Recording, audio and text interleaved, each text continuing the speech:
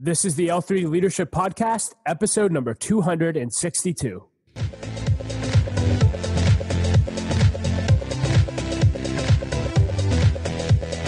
What's up, everyone, and welcome to another episode of the L3 Leadership Podcast, where we are obsessed with helping you grow to your maximum potential and to maximize the impact of your leadership. My name is Doug Smith, and I am your host. And in today's episode, you'll hear my interview with Gordon MacDonald, and you are in for a treat. It is incredible. And to be honest with you, I had not heard of Gordon MacDonald or been exposed to his work prior to listening to an interview that he did with my friend Carey Nieuwhof, And I was blown away by the wisdom that he shared in that interview. And he instantly became a bucket list interview for me. And fortunately, someone was able to open up a door and get me a connection. And he graciously offered me uh, an hour plus of his time. And uh, you were just, you're going to love love every second of this interview. But maybe if you're like me and have not been exposed to Gordon's work, let me just tell you a little bit about him. Gordon's been a pastor and author for over 40 years. For many years, he pastored Grace Chapel in Lexington, Massachusetts, where he continues to serve as pastor emeritus.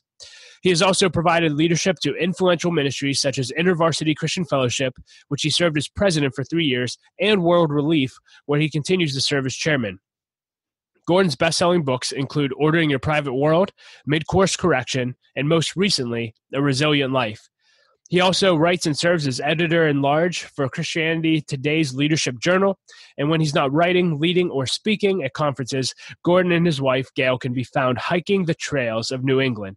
And uh, we talked a lot about a lot in this interview.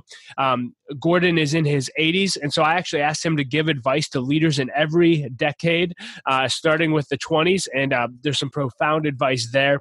We talk about a lot about leadership and ambition and the importance of rest. Uh, that's been been the main theme that I'm learning this year. And Gordon's book, Ordering Your Private World, was extremely helpful in that. And certainly the wisdom that he shares in this interview was as well.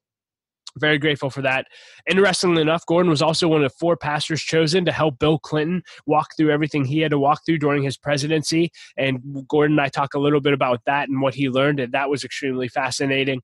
And we also talk a lot about what leadership and succession looks like, and what what leadership looks like beyond succession when you hand off the reins. And so, uh, no matter where you are in your leadership or life journey, I think this is an episode that's going to add a ton of value to your life.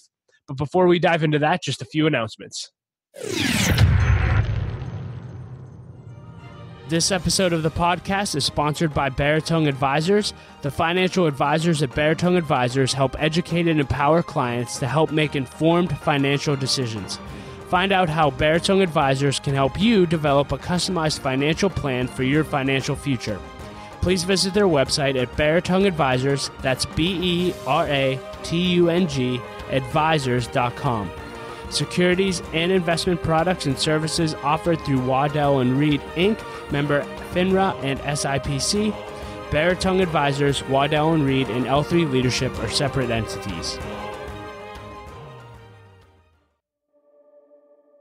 Hey, leader, we tell you all the time here at L3 Leadership that you should never do life alone, but in community. And that's why I want to challenge every single one of you to become a member of L3 Leadership.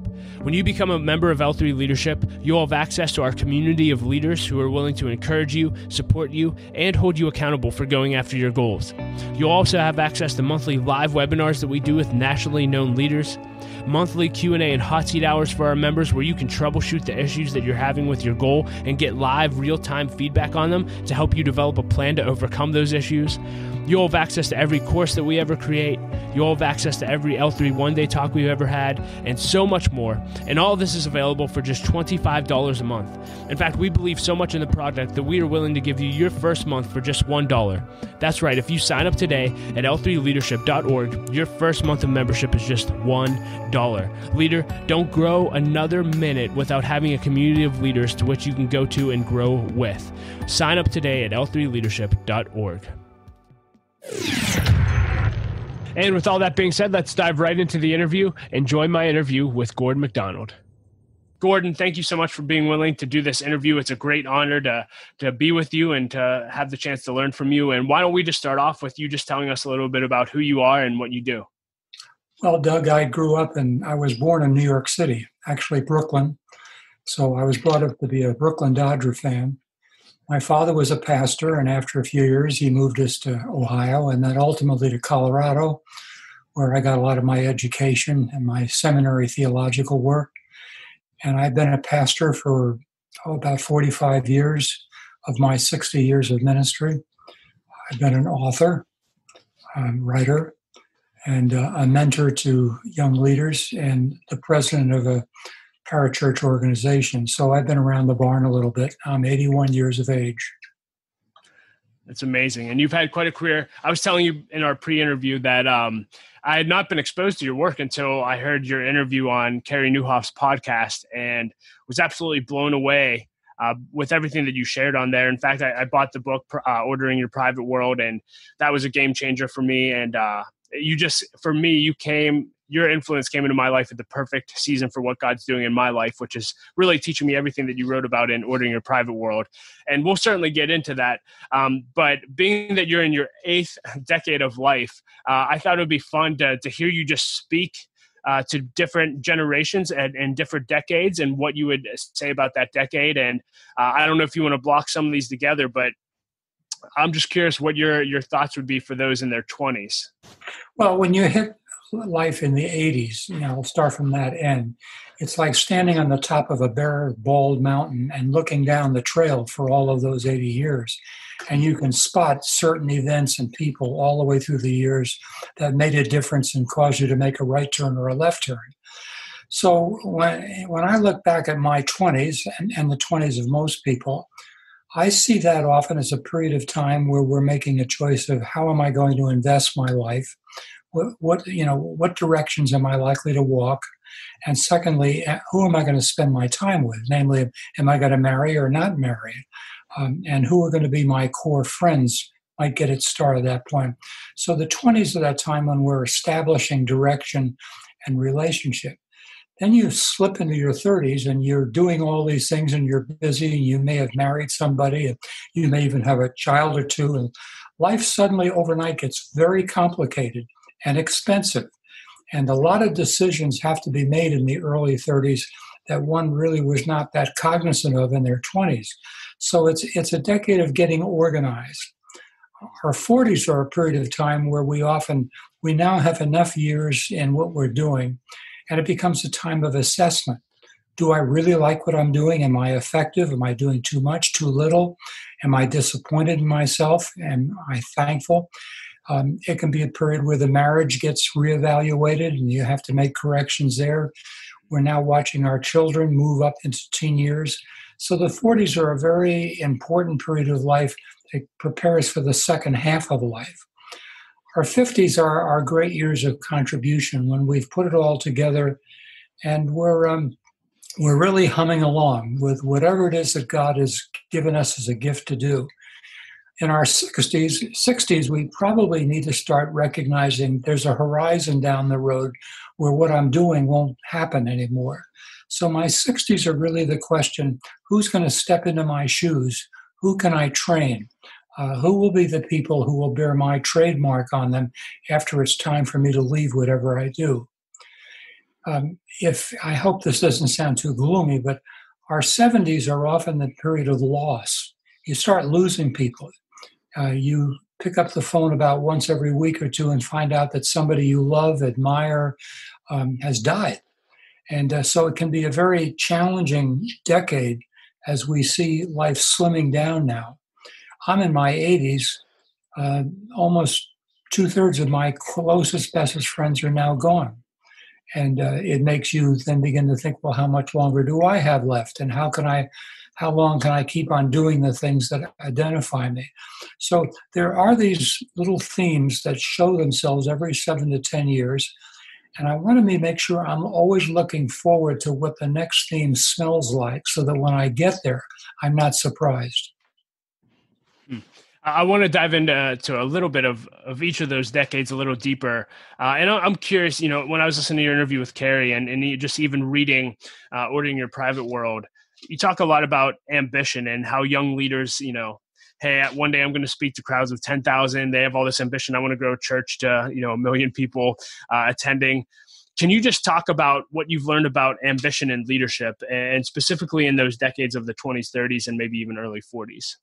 Well, ambition is, is, is an interesting word because in its darkest side, you know, it, it speaks of a man or a woman who's all in it for themselves and wants to establish a reputation and be more powerful, better known than anybody else. But ambition can be positive. Ambition also uh, reveals the fact that I, I have energy in me that I want to invest. I want to make a difference in this world. I want to be faithful to Jesus. I want people to be able to find in me something that will help them make a difference in their lives. So the word ambition is a, is a very, very wide arc. And if you're moving, let's say, to the left, uh, it may get you in serious trouble. If you're moving to the right, it may be the very thing that propels you along. Yeah, I was an ambitious young man when I was in my 20s, and I would probably begin by toting, uh, pushing that back to my mother. Uh, my mother was convinced when I was born that I was going to be her preacher, and she had these great dreams for me. Hmm. Uh, I have an 8 by 10 photograph in my fourth birthday party of standing in front of the family with a Bible that's as big as my whole chest, and I'm preaching to the family. My, my babysitter of those days, uh, whom I met many years later, told me that my favorite form of play when I was three, four, five years of age was going over to the church with her, and she'd sit in the pew, and I would conduct a whole morning worship service at the age of four up on the pulpit. So you can see that there was this, can you want to call it ambition, built into me. Um, in the 20s that pro- in, the, in my 20s that probably did there was a period of time when the ambition needed to grow up and be more mature and like a lot of young men and women who communicate for life what, as a preacher or whatever else you want to be the biggest and the best that's a that's a very youthful instinct um, it, better start wearing off or in my case when i married my wife gail uh, she looked at this ambition in me and recognized some of it need to be shaved away. One night, I, and I tell this story all the time. One night, I said to her, "Have you thought about how few truly great speakers there are in this world?" And she looked at me and said, "Yes, and there's one less than you think there is." you, nice. If you have a spouse who's looking at your ambition and helping you to launder it from the unrighteous side to the righteous side, uh, then then you've got somebody you know God's going to really use that. And uh, I, will just tell one other brief story that's a little bit truer.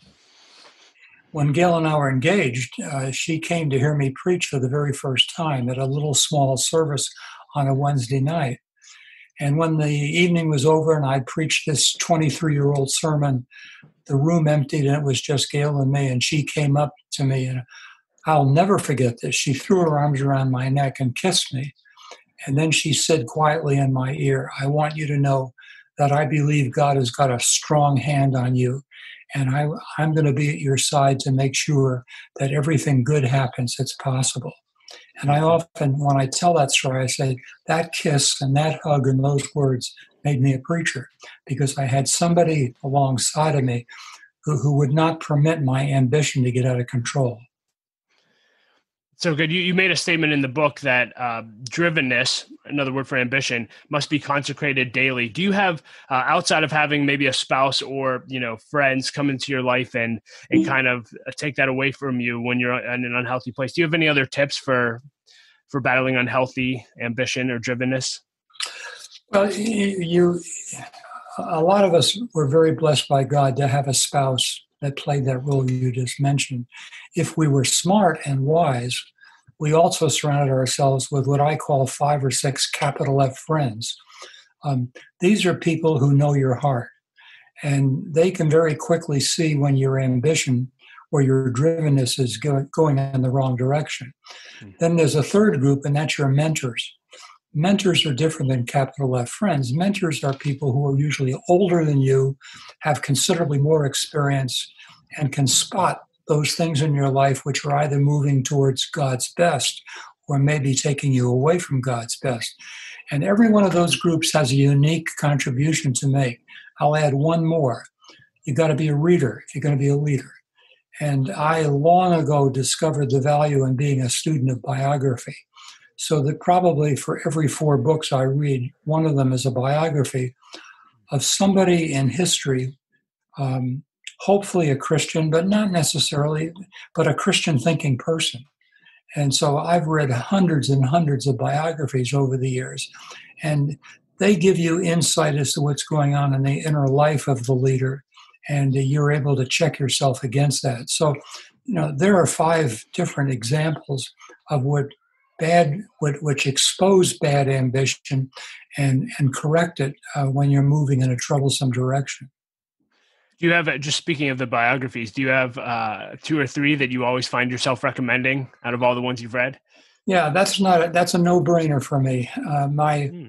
my number one model or hero was a man by the name of Charles Simeon, who came to Cambridge to study at the university in about the year 1774 or something like that.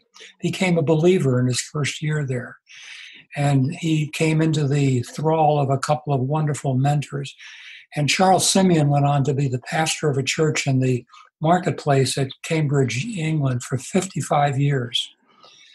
He was an amazing preacher and an amazing leader and a godly man all the way to the, from his toes to the top of his head. I probably read, there are five biographies of Charles Simeon. I probably read each one of them once a year, two, hmm. once every year and a half. But he was a man who gave me a lot of courage to look at, in the face of the pastoral ministry and say, that's what I want to be like. Uh, so he he would be uh, very much number one. Another pastor of that type was John Wesley, who was not as much a pastor as he was a um, uh, an evangelist of a type, and he spawned a whole movement of churches and pastors that we know as the Methodists today. But John Wesley was one of the most important men in church history. Um, so I've I've followed a lot of Wesley uh, too. To uh, those would be two that I would raise up very quickly. William and Catherine Booth, who founded the Salvation Army, have always been heroes to me. Um, they had a view of the world that was very unique back in the mid 1800s, and uh, they really taught the modern leader how to do it.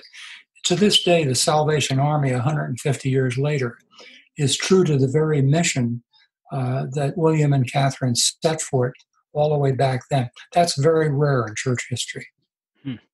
Wow. Well, we'll make sure that we uh, share all of those in the show notes for everyone to read, and I'll be picking up a copy of each of those. So thank you. Um, we were t- you were speaking to to ambition, and I think in our culture, something that comes along with ambition, especially when you're young, is making an idol out of being busy. You know, if you ask anyone how they're doing in today's culture, hey, I'm, I'm busy, I'm busy, I'm busy, and we find all of our worth in, in busyness. I'm just curious, what are your thoughts on business, busyness, and time management for leaders? Well, anybody who has known me over the years knows that this is a very important topic to me. Um, the, the, notion of ambition, or in ordering a private world, I called it drivenness. Um, that, that that was pretty evident in men my age, from age 23 to about 30 early in my 31st year, Doug, one Saturday morning, I hit the wall.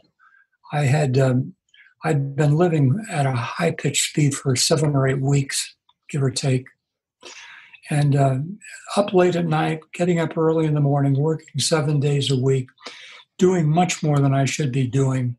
Uh, really allowing any personal inner encounter with Jesus to just kind of be sidelined for a while. I was just too busy for Jesus.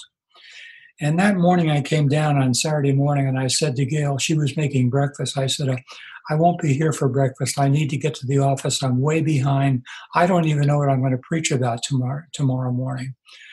And she said something like this as I was going out the door. She said, Well, if that's the way you think you want to live, um, okay. You just have to understand there are consequences because I never signed up for the kind of life that you're living. Hmm um, about that time, you know, I heard the children coming down the stairs, and what Gail had said to me was profound. It, it, it was like sticking a dagger into my heart because she was right, and I knew it. And the only thing I could do was go out to the living room, and I threw myself on the couch. And for the next four hours, I wept uncontrollably. I just lost it. I remember thinking at that time, is this what happens when somebody loses their mind? Are they going to have to hospitalize me? It was that mm. bad. Wow. And finally, about noon, the tears cleared up. And Gail had been so wise that morning. She got the kids off to a, a neighbor and she just sat and held me in her arms while I had this catharsis. And then she said at noon, she said, Why don't you just sit quietly for the rest of the day and ask yourself, what's the message that's happened this morning? What, what's God's message? And I did that. And somewhere during the afternoon, I want to be very careful how I say this, I heard God speak. Um, it was almost as if he spoke it right in my language and out loud. And the word I heard was this quote, Now you know what it's like to live out of an empty soul. Hmm. And therein we had the problem. I was a man with a lot of personal, individual, natural talent. I had a good speaking demeanor. I could charm people easily. I could think fast on my feet, but I was empty inside. And that was the day that my whole life began a turnaround in a new direction because I began to discover if I continue to live this way with an empty soul, life will be over for me in 10 years. And I'll be doing other things like selling encyclopedias or something. wow. And so over the next days, I made some very, very important vows, which I can't say I kept perfectly. But that's the day my inner life really got off the ground and got started. And that's when the drivenness started to get checked. But among the things that I determined was I was going to take the law of Sabbath very seriously. In other words, one day of the week, I was going to do no work. And I was going to f- make sure that that day was targeted, first of all, at my walk with Jesus, secondly, in my walk with Gail, and then, of course, with the children, and then the development of any friendships that would help me along the way to straighten this thing out. Now, it didn't go perfect and I didn't go mistake free, but that was one of the most important single dates of my life. And out of that came an inner journey which I've been observing to this, this very day. Can you talk more about uh, what your Sabbath looks like even to this day? And I'm just curious. Well, it's it's a good curiosity and a good question. The problem is that no two Sabbath days are alike. In order to deal with that question, you have to start with the back end and say, what is a Sabbath supposed to accomplish? And we, you know, we have a teaching of that in the Older Testament, as it was to accomplish for Israel. But as you move through the New Testament, and then as you read uh, people down through the centuries, you begin to realize that literally Sabbath is a day when you break with all your routines and you establish a day of restfulness and quietness. And what should happen at the end of that period is that you should have a sense of spiritual, mental, and physical renewal. So when you ask me, um, what's a Sabbath look like? I have to say back to you, anything that gets me to meet those three goals physical, mental, and spiritual. I should add a fourth relational, because you ought to be able to come out of a Sabbath day with the most important things in your life's core all now renewed. So Gail and I began to take Thursdays off. A lot of pastors take Mondays off, but they're just giving everybody the worst day of the week. Um, you can't take it off at the end of the week because you've got a weekend to look forward to. So we felt Thursday would be the day that we would break away and we would emphasize quietness during the mornings where we would read and journal, pray, and anything that would renew either one of us. Then Thursday afternoon and Thursday evening were for play, uh, to have a good time, to laugh a lot, to do things that broke us out of the, uh, whether it was the boredom or the pressure of ministry as it was moving along. And uh, I would say a preponderant amount of times when we got back to our place on Thursday night from wherever we'd been, we were different people. And I went into Friday and Saturday preparing for my preaching with a renewed heart and a, and a lively soul.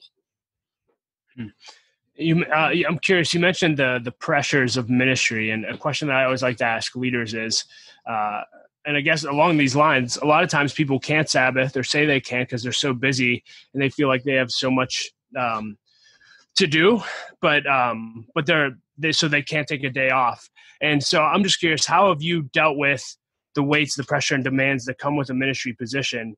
and yet still take a day off to, to rest and, and re-energize well if you can't get your work done in six days um, then you're either doing too much or what you're doing you're doing the wrong way hmm. you know god didn't make exceptions for your generation or mine he's, he's believed in this sabbath thing ever since the very first days of creation so God wouldn't ask us to have a Sabbath rhythm in our lives and then say, but I want you to do a job that crashes that Sabbath. There, there's, there's an insensibility in there. And that's something that particularly young pastors, where they make a mistake, they, you, you use this word ambition. They, they want to grow a large church and they, they want to have all the symbols of ministerial success. And then they wear out I have a lot of young pastors, more men than women, come at me at about the age of 38. Now, that would mean they've been in ministry, let's say, six to seven years. And they'll come at the age of 38 and they'll say, uh, Pastor Mac, I don't know what to do. I'm absolutely exhausted. I've run out of ideas. Uh, my wife doesn't like the ministry anymore because it's dividing our family. My children don't even know me. What do I do? And I'll say, How old are you? Well, I'm 37 or I'm 38 and a half or something like that. And what, what they're doing is they're breaking all the rules. God, it's not God's will for us to be all pastoring mega churches. Um, that, you know, what, what's to be profited if I grow a mega church and at the same time I destroy myself and my family? It doesn't, there's no logic to that. So I need to know what kind of a schedule is kept to get the work of the church done, but in a sense re- strengthens the model that I am as a godly man um, to my family and to the congregation. By the way, those same guys at the age of 38 show up at the age of 48, and now the questions have slightly changed. Um, I'm so disappointed. I have not reached my life goals. I'm not the man of faith I thought I was going to be. My marriage is in a little bit of a struggle my kids are leaving home and and they're saying i never knew dad. My parents are getting ready to die on me. Um, the church begins to think that i've been here for 10 or 12 years. Maybe it's time for a change. What do i do? Then at the age of 62 the question changes again. I'm looking at retirement. My church is beginning to smell that they would like a new guy. Um, how much longer can I keep on doing the things that identify me? So there are these periods of questions that are coming along, and we need to get ready for them and train for them so that they don't ambush us. Yeah, I'm curious as a as a follow up to that. Uh, in the in the book, you said you talked about fast starts. Uh, fast starts fit the vocabulary of perceived success, large numbers, big bucks, sudden victories, quick recognition, meeting important people. And in the book, you said these are things that I see as rather insignificant today, but in times past was tempted to take rather seriously. And I'm just curious one, now at 81, how do you define success now? And has your definition of success changed over the decades? Oh, yeah, um, it's changed. It's tra- changed dramatically. With each decade, there were things that were legitimately really important to me. For example, in my 30s, 40s, and 50s, preaching was very important. I love to preach the Bible. And, uh, you know, I preached four times every Sunday for about 15 years. And, um, yeah, it tired me out from time to time, but I loved doing it. Uh, I, I, loved, um, you know, being a leader of a church here in New England, uh, where it's, you know, a lot of guys don't make it here. So when you meet somebody who's been around New England for a while, you know God has really sustained that person because some of the better preachers in this country failed in New England and had to go other places. Um, but now, now I, I'm off my own track here, except to say that success was changing over the years. Um, but but what happens over the years, Doug, is that every once in a while, and, and again, you're going to think I'm mechanistic for saying this, but you need some kind of language. But about every seven years, your dreams get tested, hmm. either because you yourself have failed or because someone's turned against you or something hasn't worked right.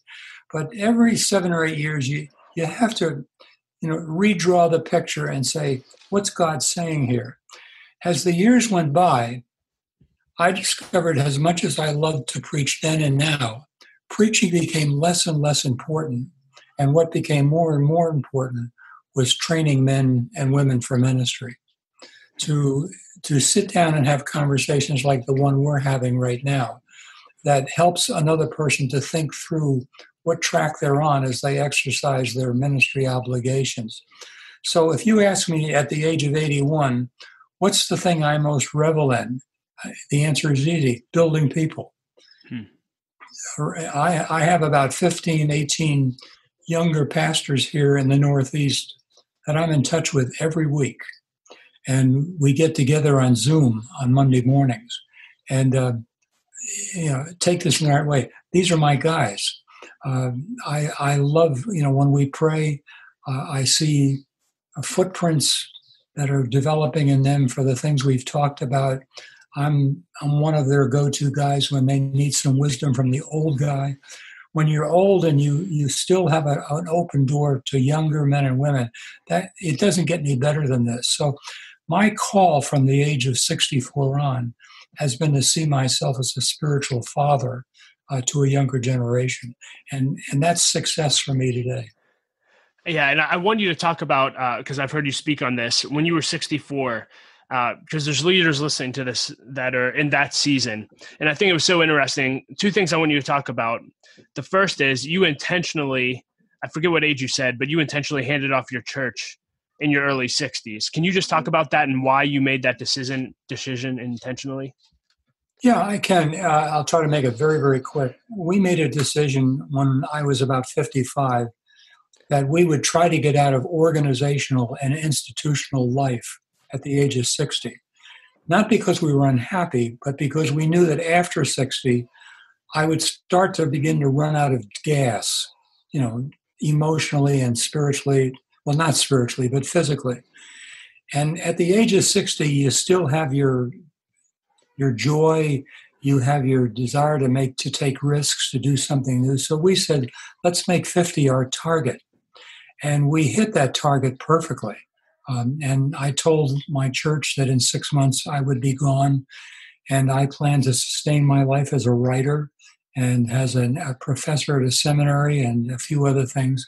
So we were able to make that decision and step away. And I've really believed more than ever that running organizations is for young men and women in their 20s, 30s, 40s, and 50s.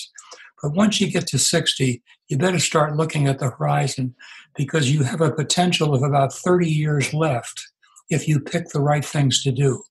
Hmm. Now, when I was 64, my editor at Leadership Journal, which I used to write for every edition, um, he asked me to write an article about call and ministry. So I wrote it and shipped it off and thought to myself, I, I really haven't thought about my call to ministry for 30 years. Um, that's something you hear young people talk about in their teens and early 20s. I feel a call to be a missionary. I feel a call to be a pastor. But old guys don't normally talk that much about it. And so, you know, what does that mean? That the call idea has gone out of date or we've missed something? So I began to pray, Lord, do you ever give a fresh, brand new call to a 64 year old man? And I prayed that prayer daily for several weeks. And then I went off to Germany to speak at a number of pastors' conferences over a 10 day period. And frequently at the end of those days, some of the younger German pastors would approach me and they would say something like this Then you talk today, you talk to us like a father.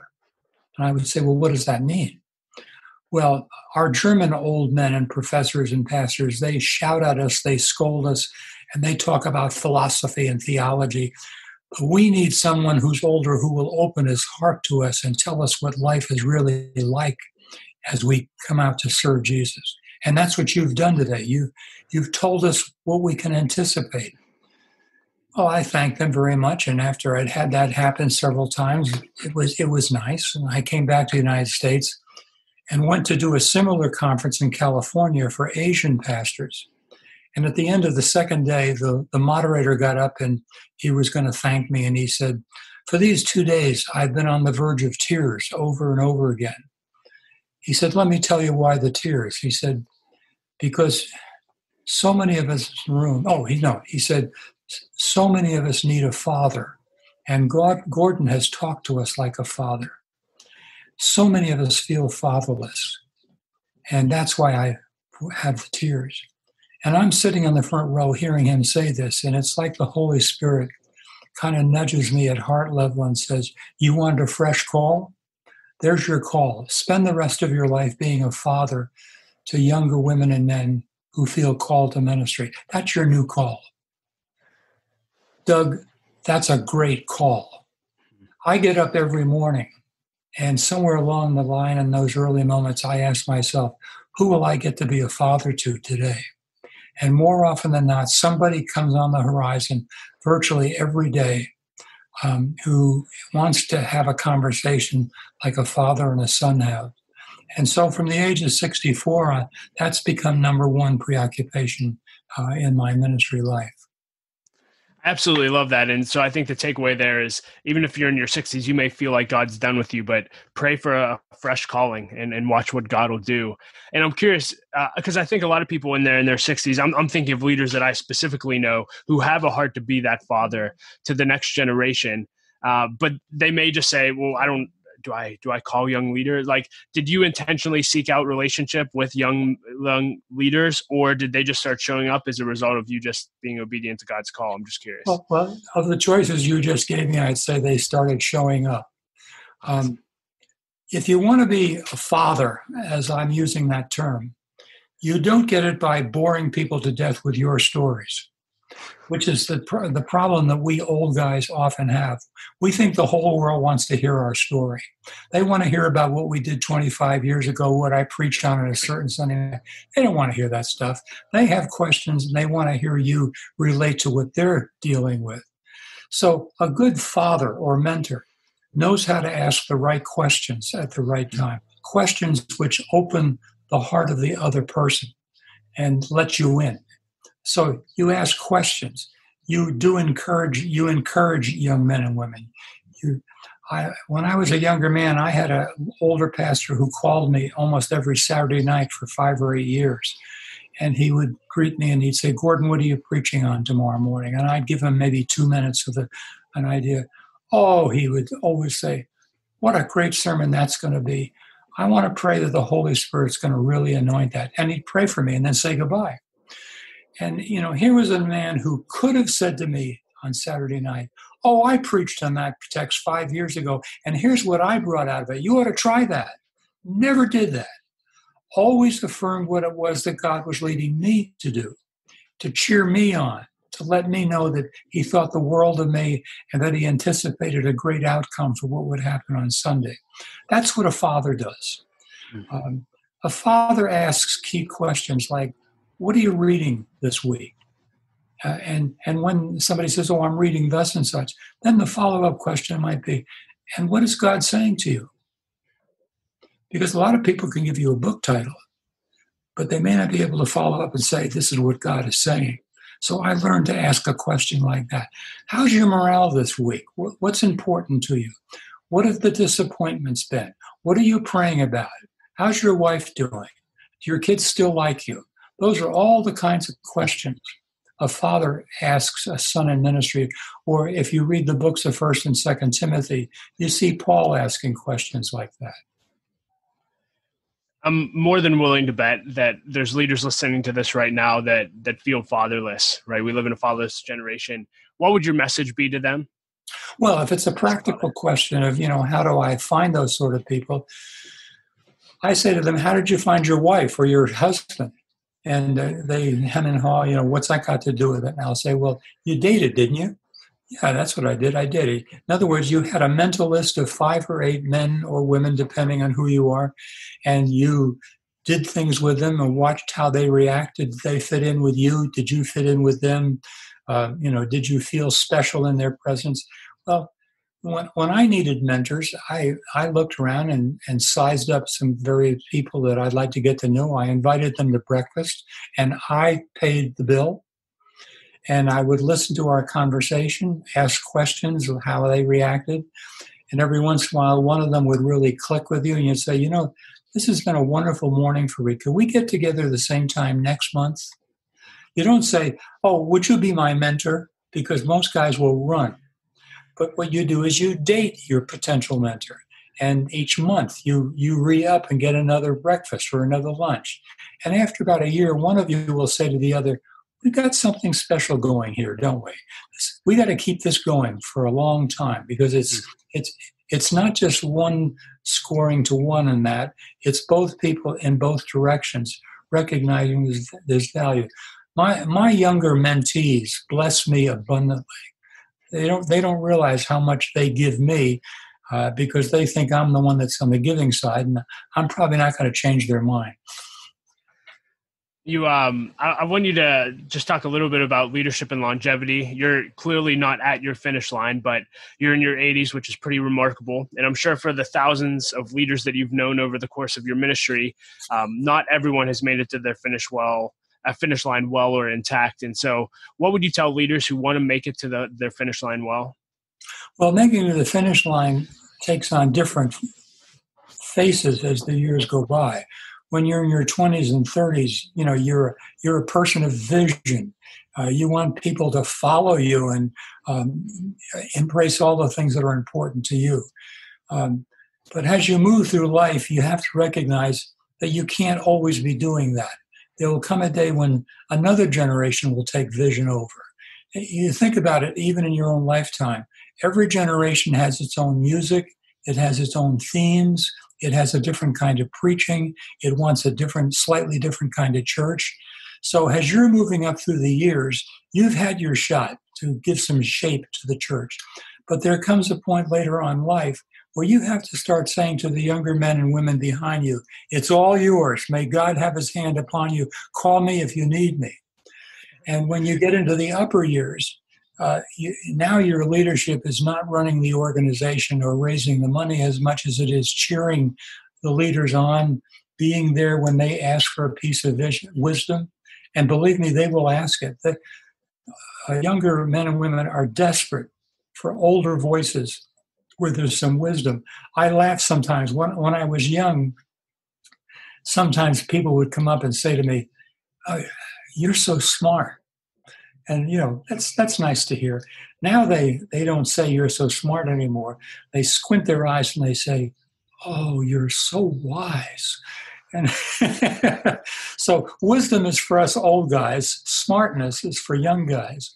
Uh, but you, you just got to know in the last third of life uh, you you're going to start embracing obscurity um, you're not invited any longer to the big conferences and the planning situations, but you're the guy that they come to when somebody is screwed up, when something's going wrong, when something was missed. Then they want to hear from the old guy. You, would be amazed at how many young pastors want to talk to a man like me these days, not because I'm really that good, but because they smell in this uh, virus crisis Nobody knows what to do with this. What's the church going to look like when this is over? If you're a young guy, you have no experience. You, you're, just getting your feet wet and what ministry is all about. So the young guy says to himself, well, maybe Gordon's knows something I need to know. He's been around for 50 or 60 years. He must have seen an epidemic before or something like, what, what do I do when my church is splitting because half the people want to wear masks and the other half don't? uh, you know, what do you do about things like this? Well, we old guys just may have had some experience in those levels. So, uh, what I've learned in my last 25% of life is don't try to run things. Don't try to make a name for yourself. It's time to step aside and let everybody else pick the ball up and run with it. What What are you ch- challenging and encouraging leaders with about the crisis? I'm curious. What What's your advice to those young leaders? Oh boy, it, it's uh, it, it's really hard for me to deal with that question because it's so different from place to place. I've I've I've encouraged younger men to think about their preaching. Is there are they preaching into the realities that people are facing Monday through Saturday? Um, are we preaching about issues like what overcomes fear? What brings people together when they have strong opinions that are different from the other person. What kind of priorities are we going to set in this period where the old way of doing church uh, can't work anymore? You know, when we don't have our buildings and we don't have our, our programs.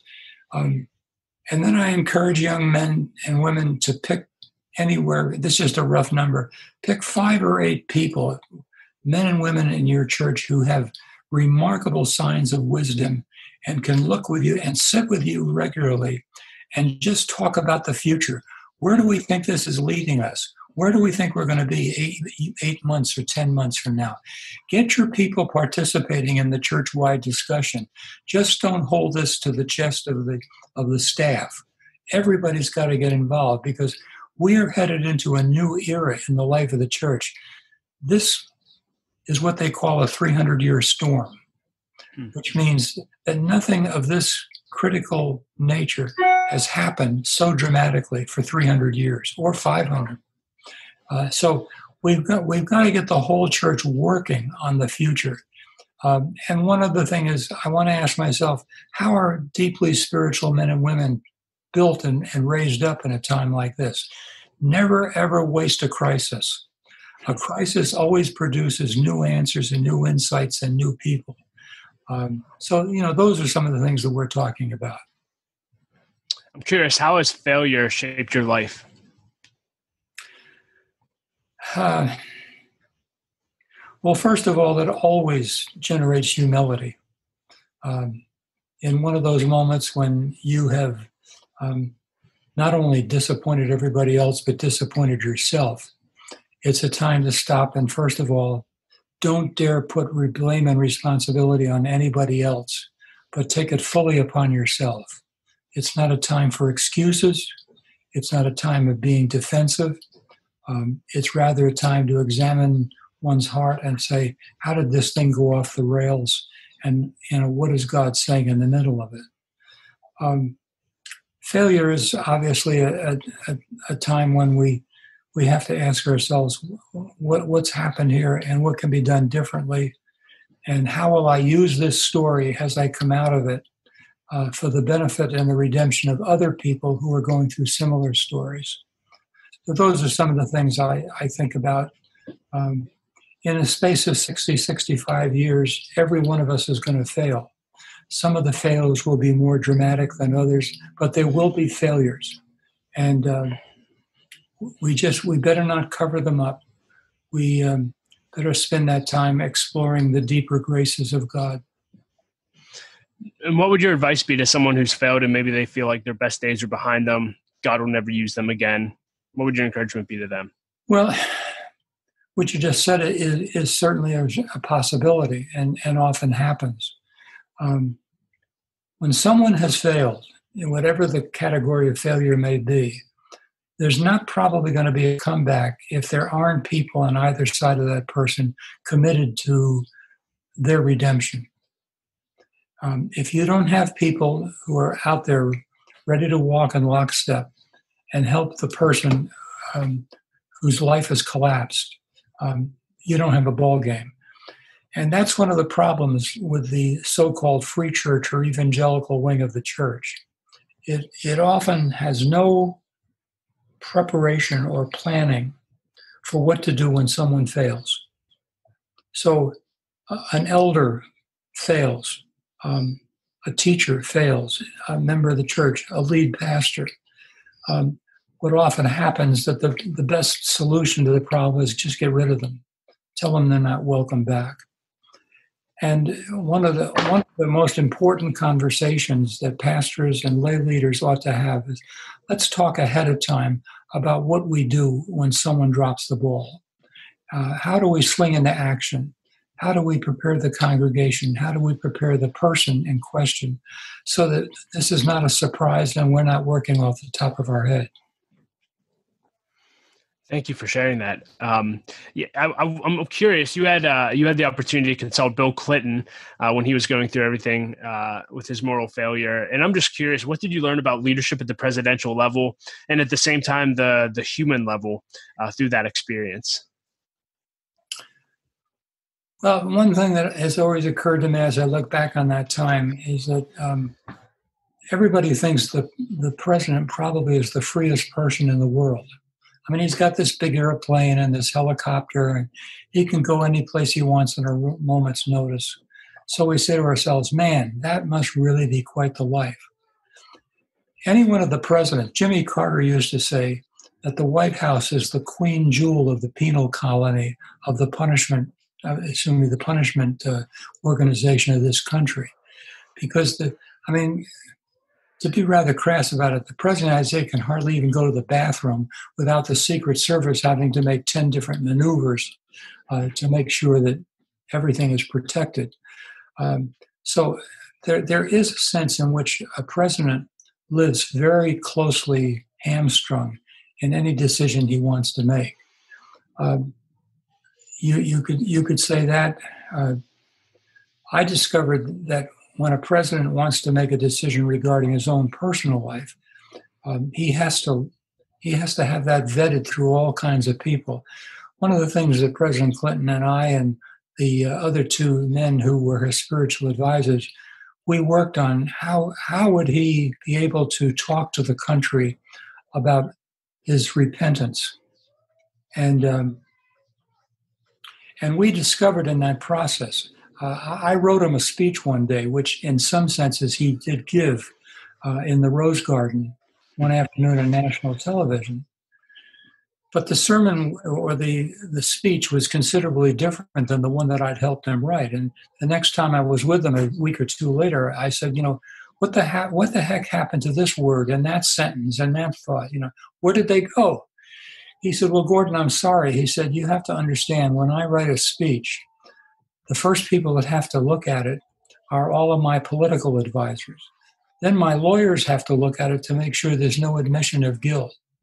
Then members of my political party have to look at it to make sure it squares with party discipline. Then my friends have to look at it to see if it impl- implicates them in any way.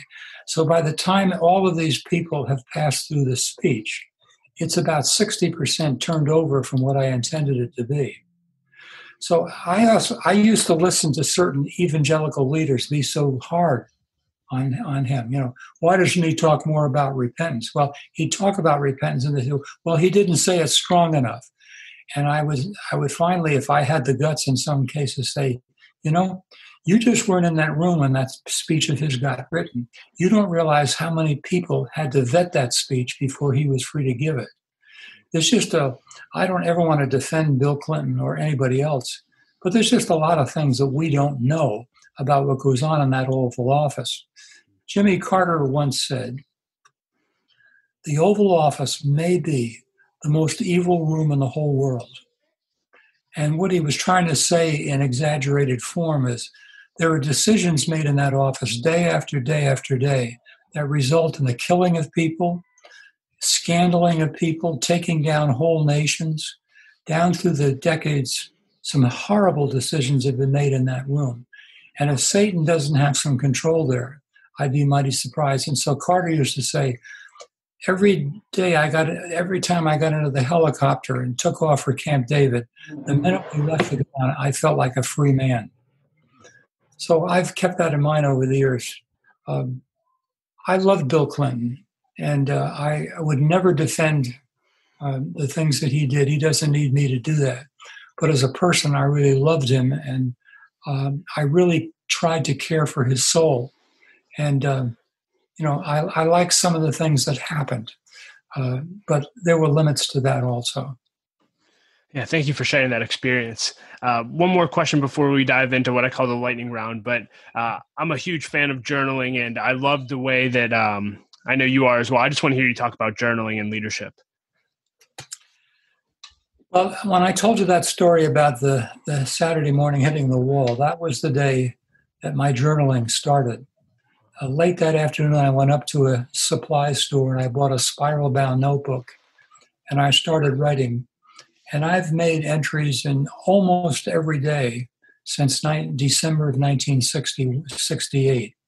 So that's a little over 50 years in which I can account for something that's happened virtually every day, 365 days a year. A journal becomes a, a, kind of a best friend. You can tell the journal things you might not feel good about telling anybody else. It's a place where you can concretize your thoughts because a lot of us have thoughts and they go in one ear and out the other if you don't write them down sometimes you're struggling to concentrate, and so I write my prayers into my journal. I write events. When our children were home, I wrote about their childhood. My son's soccer scores are there, to be simple as that.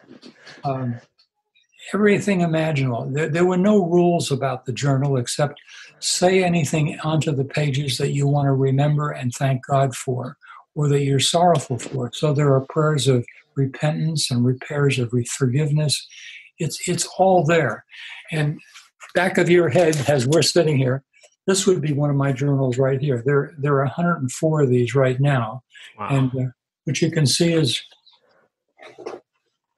we got it up here. Yeah, yeah. Since 1990, uh, all of my journals were typed, and then about every six weeks, I print them out and take them down to FedEx, and and they're spiral down, so that where you can see behind you, there's 104 of these, uh, day by day by day, uh, that are very important to me. The question is, when I die, what do we do with them? And uh, that's been a family conversation recently. Do you go back to them often? I'm just curious how you do. You do anything to look back? Often is a strong word. I go I go back to them. For example, if if I'm going to preach at a church that I preached at five years ago, I'll go back and read my entry from five years ago. So and so picked me up from the airplane. I had lunch with so and so and their spouse. I preached on this subject. I told this joke. I told this story.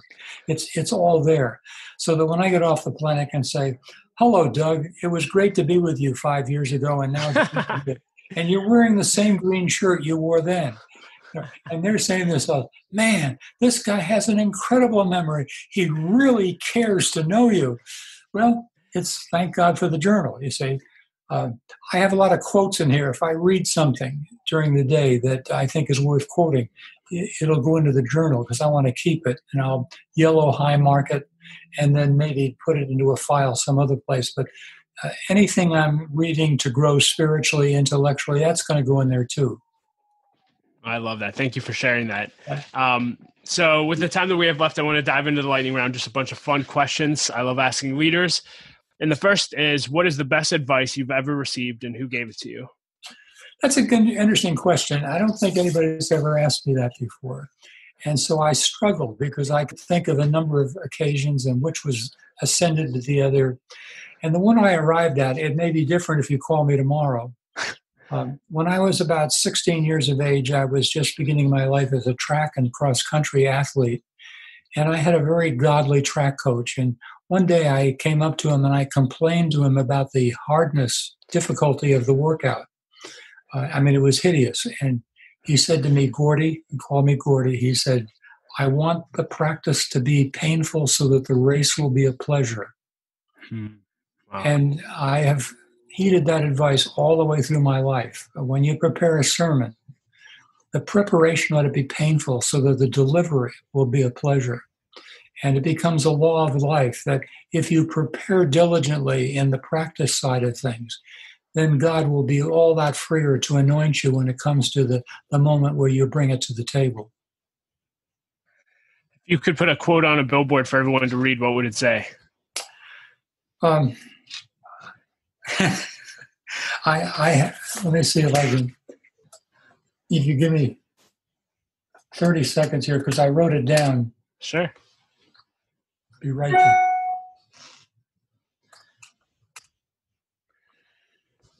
I picked a quote out of Aristotle. I count him braver who overcomes his desires than he who conquers his enemies for the hardest victory is over self. Hmm. Now, I could have taken something out of the Bible, but I get a kick out of taking Christian truth out of non-Christian writers, um, and that's a, that's a sentence that I would willingly broadcast any place. You want me to read it again? Yeah, that'd be great. I count him braver who overcomes his desires than he who conquers his enemies. For the hardest victory is over self. And believe me, at age 81, I know that to be absolutely true. What's the best purchase you've made in the last year for $100 or less? Two dozen roses for my wife on Valentine's Day. Boom. Uh, I know earlier we talked about some biographies that you recommended. Are there any uh, other books, non biography, that you'd recommend often to leaders? A book that changed my life many years ago was, and I'll have to spell the title, is called Shantung Compound. S H A N T U N G, Shantung Compound. It's a story written by a professor from the University of Chicago who was one of 2,000 white Western people who were captured and spent three years in a prison camp in, for the Japanese, under the Japanese during World War II.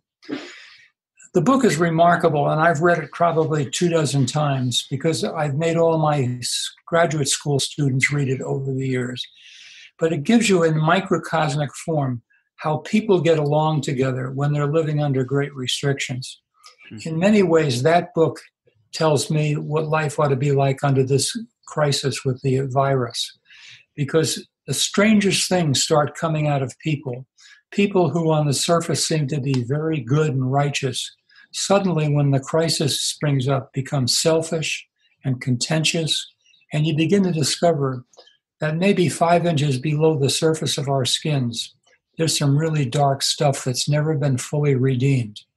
And uh, so I, I, I think that has been one of the most important books that I've ever read because it, it it's reminded me over the years of the role of the preacher or spiritual leader and what we have to do to keep each other growing in Christ as the years pass.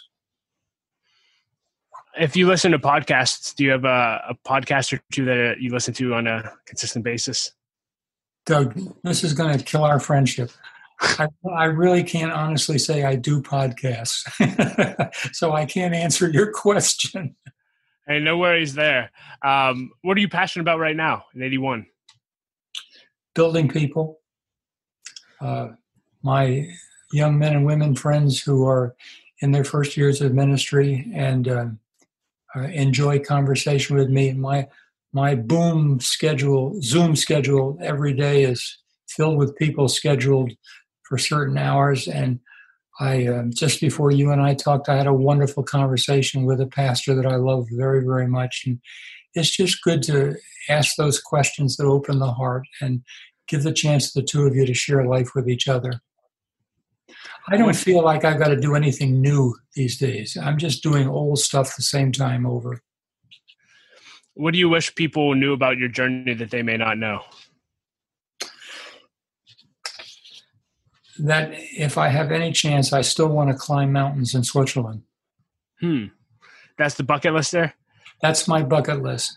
Um, my last time in climb, I solo hiked a mountain trail two years ago in Switzerland and almost fell off a cliff to kill myself. Oh, man. Uh, my wife, Gail, has made me promise I will never solo hike again. I'm too old for it. So maybe next year, when this thing is over, I can get back to Switzerland and do a couple of my favorite Wanderwegs, as they call them.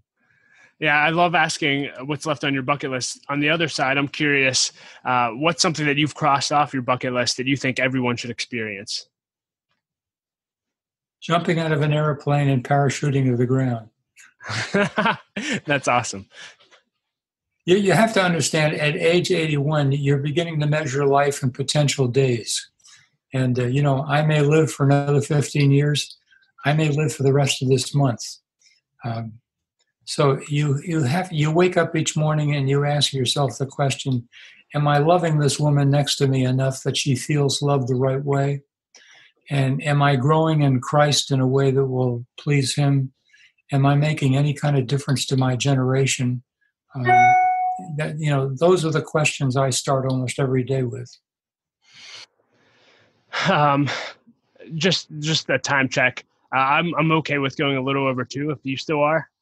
Sure. I don't I don't want this to end. So um, you get you've over the course of your career get to sp- got to spend time with thousands of leaders, and I'm just curious when you meet with a leader, do you have a go to question or two that you always ask? Yeah, I um, I should I should preface that by saying one of the most important mentors mentors in my life. I had nine of them sometime if you want to have an interesting conversation, let me tell you about my nine mentors. Uh, but one of them was my mentor from age 9 to 96. He died about three or four years ago. The most unusual man I ever knew knew in my life. And um, he was a master at asking questions. Whenever I was with him, I just felt like he was doing surgery upon my mind and my soul. And in a year's in, in an hour's time, he would he would clean me out like a fish. And, and his questions were not intrusive. You didn't mind them. In fact, you you you, you want to say, you know, bring it on, bring it on, because when I get through with your questions, I'm going to be a, a different kind of guy. Wow. So I learned from him how to ask questions. And to this day, when I ask questions, it's frequent that I'll hear people say, Man, nobody ever asked me that question before. Wow, that's a question. I got, I've got to go home and discuss that with my family. Uh, man, uh, and, and so I love those kind of questions that make people feel that they've been exposed. Well, one question to ask somebody when you're meeting them for the first time at a breakfast or a lunch, and it sounds a little bit innocuous, but I'll say, Tell me, just to get to know you, tell me the story of your whole life in four minutes. and people will look at you astonished. You know, four minutes. I couldn't do it in four days. And I'll say, Well, just try. And you know what? They try. They try to do it. And, they'll, and what they almost always do, uh, and I suspect if you and I were doing this, one of the very first things you would talk about is the loss of your mother. Hmm. Yeah. And you would say that was one of four or five things in my life uh, that made a huge difference. So I might come back then, if you don't mind my using you as an example, and sure. follow up with a question What did it do to you when you lost your mom? And did it change your life? Did it bring any new thought into you? You know, where did you come out of it? And I'm listening very carefully to how you deal with that because in about 45 seconds, we have jumped a mile deep into your life, and you've made a choice to tell me things about your life that you'd probably not tell very many people. So that question is very useful. Tell me about your whole life in four minutes, because what I'm going to hear are the four or five things that are most important to you or that you think shaped you. And that's going to give me an opportunity to know you better by picking one or two of those and saying, run with that. Tell me, t- tell me what, what that's all about. That's so good. I'm going to add that to my arsenal. That's a brilliant question. So thank you for sharing. Uh, I'm curious, do you, uh, what is your biggest leadership pet peeve? Well, we probably have touched it in one way or the other. Uh, um, how do I say this? I'm a little bit weary about leadership. Um, when you think about it, for the last 25 years, and I've been a part of this, um, almost every seminar, every conference in North America has been about some form of leadership. And most of that conversation has been about organizational leadership you know how you run a bevy of people to accomplish a particular task how you organize to build a great building uh, all of that kind of stuff. Leadership is rarely about the inner life mm-hmm. and how a person becomes strong in their walk with christ um, in, in the, the inner life. The people who know this almost better than anybody else are the quakers. And one of my interests over the years in a scholarly way has been how Quakers have thought over the last 500 years. And uh, you know that's a, that's a leadership that comes from the soul. They talk about speaking truth to power. Uh, so my one of my pet peeves is that we've had all this teaching on leadership, and yet when we needed it most, it didn't seem to work very well. Wow. And um, that really bothers me because I drunk that Kool Aid. I had my own talks on leadership and loved talking about and quoting Peter Drucker and um, a bunch of the others. Uh, and now I'm I have a little bit of regret because I think that emphasis on leadership taught us or led us to build these big, big megachurch buildings, everything like that. And now some people are beginning to struggle with what the heck we're going to do with them. Hmm. Because we may come out of this virus um, and the so-called megachurch may have taken a hit that nobody anticipated, and we're gonna we're gonna have to reframe the church and how it does its business, and what it truly believes and what its contribution is going to be in the next years of, of our country's life. So the the challenge in that would be don't just focus on developing yourself as a leader so you can grow something big. Really, just focus on developing your character as a leader well, yeah, or redefine the word leader um, to mean something that it, that it often is meant. Look, you know, just look down.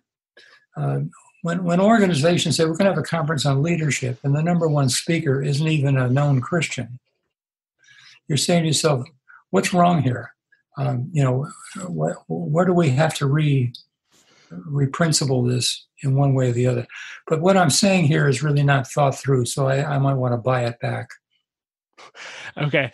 Uh, if you could go back and give your 20 year old self or have coffee with your 20 year old self, what would you tell them? What would I tell them? I thought that was an interesting question, too.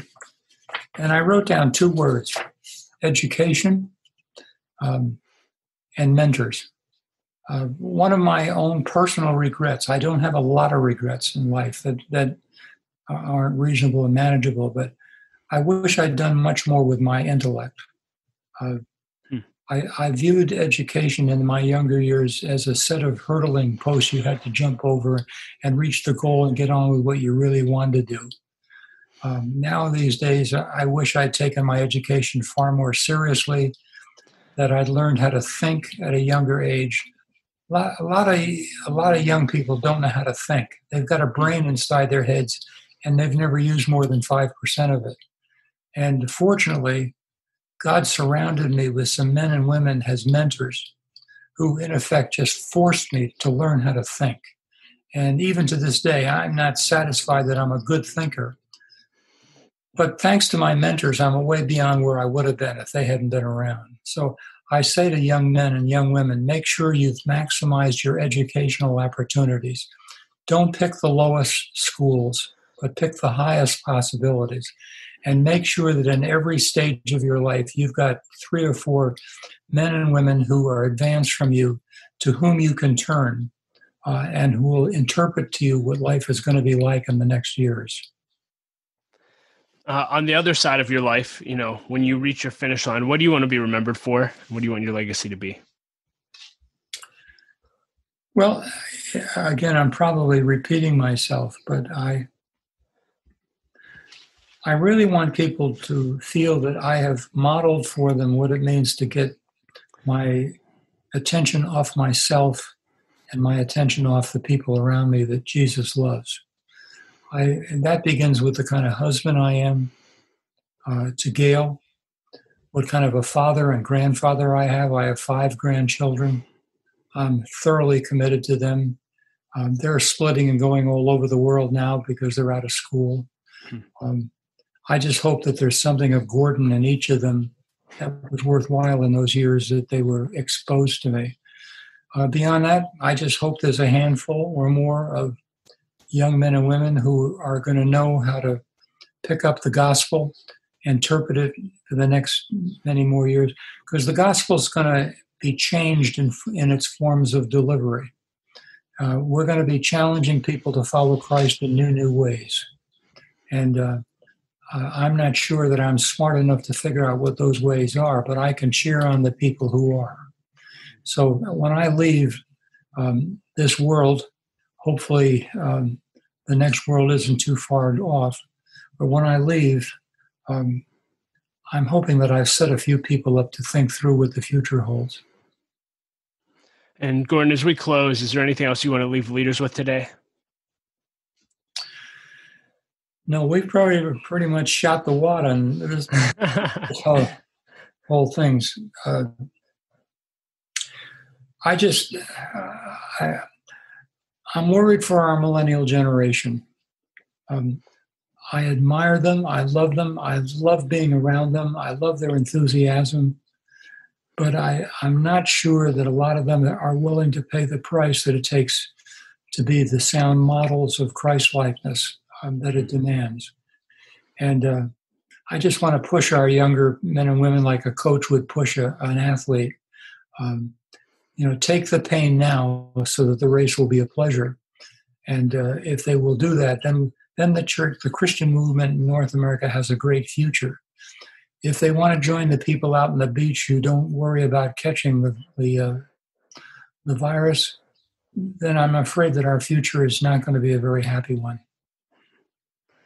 Well, Gordon, thank you so much for this conversation. It's been rich. Thank you for your faithfulness to the call on your life. It's impacted so many in the body. And so appreciate this conversation and we hopefully we get to do it again someday.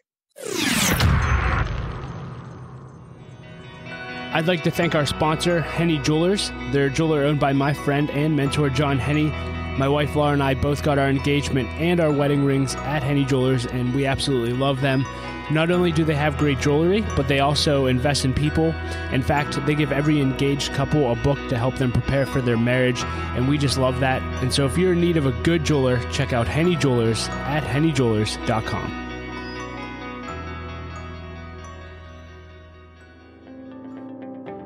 I'd also like to thank our sponsor, BABB Inc. BABB is an insurance broker, a third party administrator, and consulting firm led by my friend and mentor, Russell Livingston. Russell is extremely passionate about developing the next generation of leaders, which is why he's partnering with us on this podcast. And he's also opened up his offices here in Pittsburgh to host our monthly leadership events, and we are extremely grateful for that. The nonprofit that I work at, Light of Life Rescue Mission, started using BABB as our insurance broker around three years ago, and we've had an unbelievable experience with them, and we highly recommend them.